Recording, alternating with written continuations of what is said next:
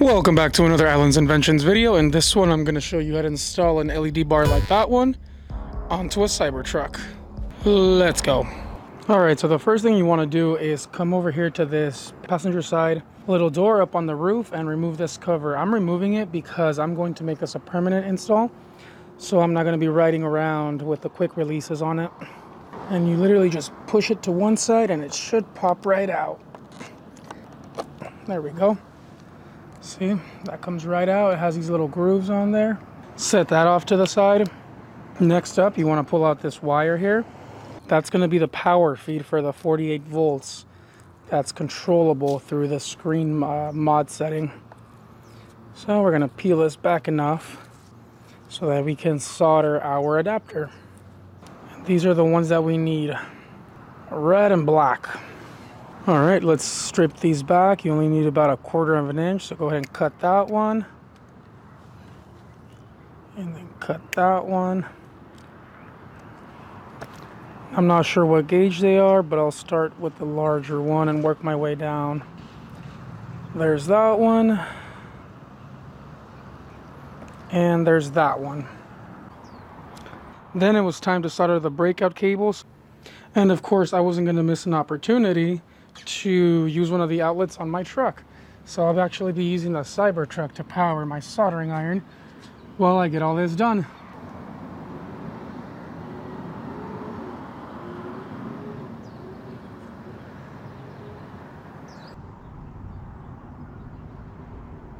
Then it was time to just apply a little heat so that the heat shrink would seal. See how it's not on?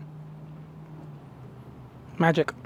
Now that one of the harder parts is done, I'd say, it's time to go back to the LED bar. We're going to leave this like this for now. Next up was time to install the bumpers on the brackets.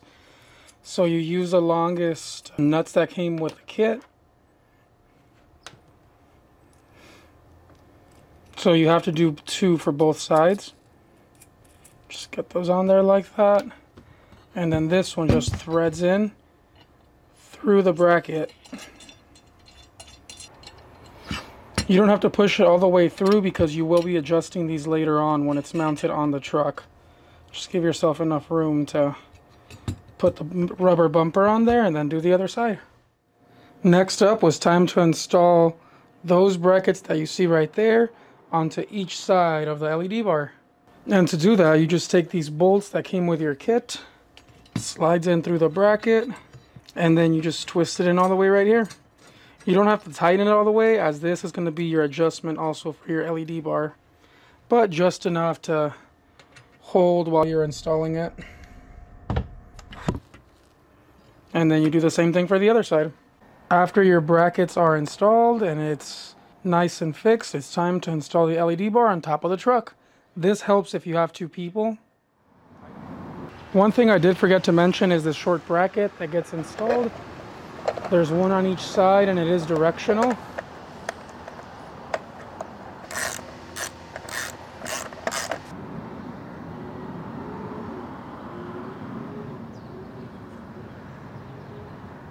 You just install this one bolt here and you got to make sure these two slide over. If they don't, you might have to loosen this guy up to give you a little bit more wiggle room. Then after that, it was just time to tighten this one that is basically the bumper that sits on the window as you can see there. This is the part that I saw in other videos I didn't like. This just kind of hangs like that and it's really hard to cable manage up here. So make sure to subscribe if you want to see how I resolve that later on. I'll probably 3D print a cover or something because that's just wide open on both sides.